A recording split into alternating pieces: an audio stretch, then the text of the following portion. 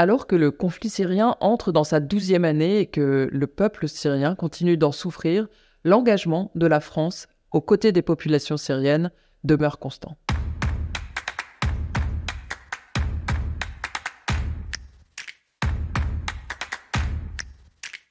Depuis 12 ans, le régime syrien, avec ses appuis extérieurs, notamment l'Iran, la Russie et la milice Wagner, ont commis des violations répétées des droits les plus fondamentaux, susceptibles de constituer des crimes de guerre et des crimes contre l'humanité. Selon les Nations Unies, plus de 300 000 civils ont été tués durant le conflit syrien. La moitié de la population syrienne a été contrainte de fuir son foyer, avec 6 millions de déplacés internes et 6 millions de réfugiés, majoritairement dans les pays voisins. En janvier 2023, un rapport de l'Organisation internationale pour les armes chimiques a désigné le régime syrien, sous couvert de son allié russe, comme responsable de l'attaque meurtrière aux armes chimiques perpétrée à Douma le 7 avril 2018. Il s'agit du neuvième cas d'utilisation d'armes chimiques attribuées de manière indépendante au régime syrien. De nombreux crimes ont également été commis par Daesh et d'autres groupes armés. Que ce soit en Ukraine ou en Syrie, la France œuvre avec ses partenaires contre l'impunité. C'est une priorité de la diplomatie française, en Syrie comme ailleurs. Il n'y a pas de double standard et il ne saurait y avoir de paix durable sans justice.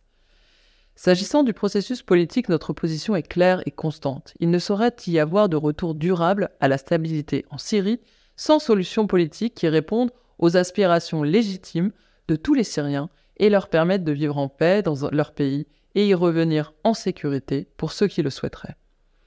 Le cadre de cette solution, il est connu. Il s'agit de la résolution 2254 du Conseil de sécurité des Nations Unies, une résolution adoptée à l'unanimité en 2015. Mais le régime syrien reste enfermé dans une logique d'intransigeance et refuse de négocier les bases d'une paix durable. Très tôt, la France s'est engagée en faveur des populations syriennes. Ce soutien est demeuré constant. Nous l'avons rappelé à l'occasion de la conférence de Bruxelles 7 qui vient de se tenir les 14 et 15 juin 2023.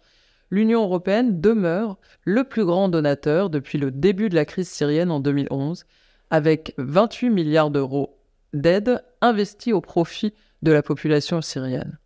En 2023, le soutien apporté par la France est en hausse, puisqu'il s'élève à près de 540 millions d'euros, dont 190 millions d'euros de dons annoncés lors de la conférence.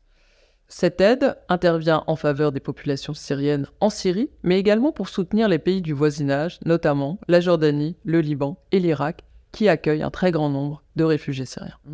Pour toute l'actualité sur le dossier syrien, suivez nos réseaux sociaux et le site France Diplomatie.